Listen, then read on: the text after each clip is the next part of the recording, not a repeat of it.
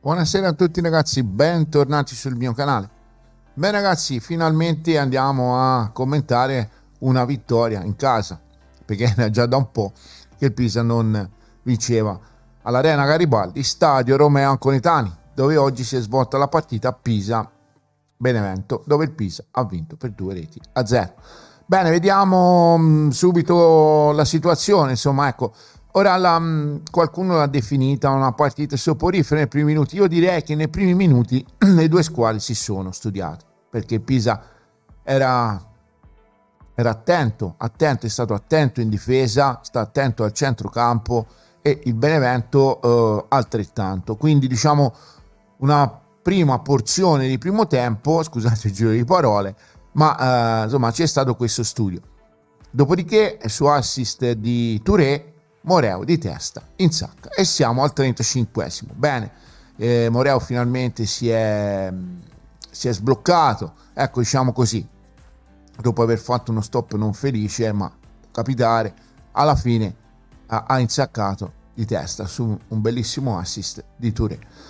Bene, da lì in avanti Pisa si è preso coraggio e ha cominciato a macinare di più. Quindi abbiamo visto insomma un qualcosina di, di più.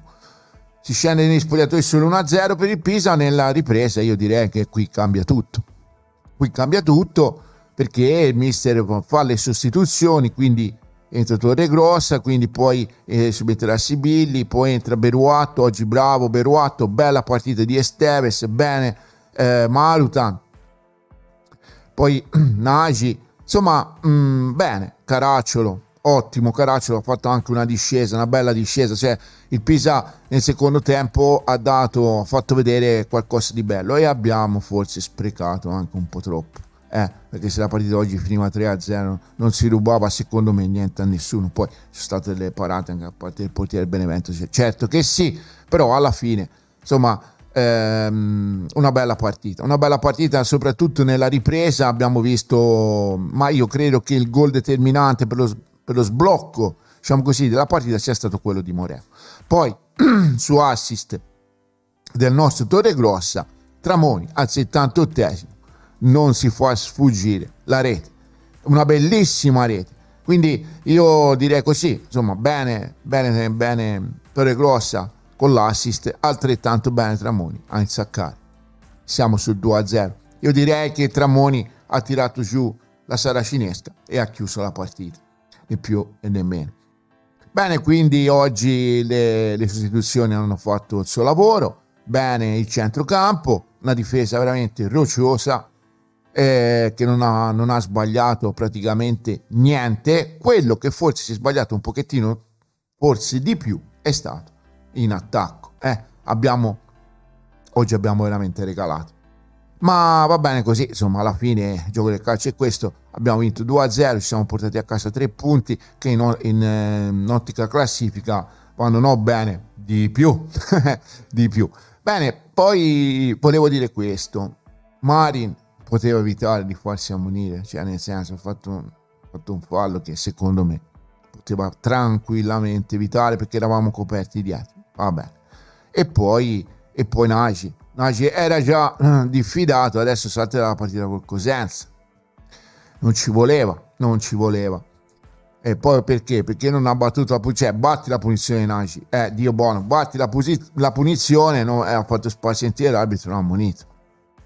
Vabbè, eh, oh, pazienza, che dobbiamo fare? Eh, il problema è che col Cosenza sarà una partita complicata, difficile, no?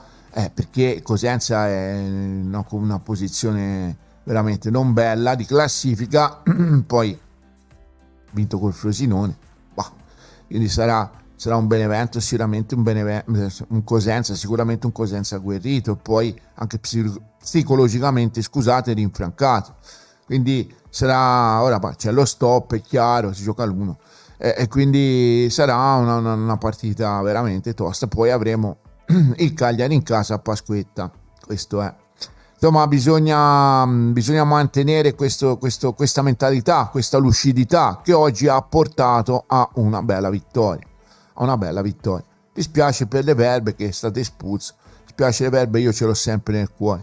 Forse se non era per, per Maran, eh, secondo me le verbe era ancora qua io Leverb come giocatore non mi è mai dispiaciuto, voi lo sapete, io veramente ce l'ho nel cuore. Va bene, detto questo, vabbè, era solo una parentesi. Detto questo, andiamo a vedere cosa recita oggi il tabellino. Il tabellino recita questo: 9 tiri per noi, 5 per il Benevento. I tiri in porta, 4 per noi e 1 per il Benevento. Vedete che quando si tira in porta eh, si riesce poi insomma, a, a realizzare, a concludere ripeto, forse con qualche errorino di troppo, ma va bene così.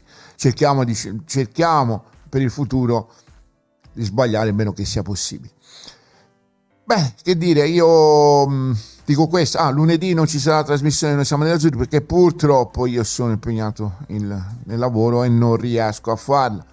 Ci sarà lo stop, ma ritorneremo qua tutti insieme il, eh, il 3, il 3, eh, il 3, sì, quindi dopo, dopo, la, dopo la partita col Cosenza. Eh, fondamentalmente, quindi seguiteci, seguitemi, seguite il canale e, e, e niente, a posto. Se vi è piaciuto questo video, pollice su, mi raccomando, iscrivetevi al canale se ancora non l'avete fatto.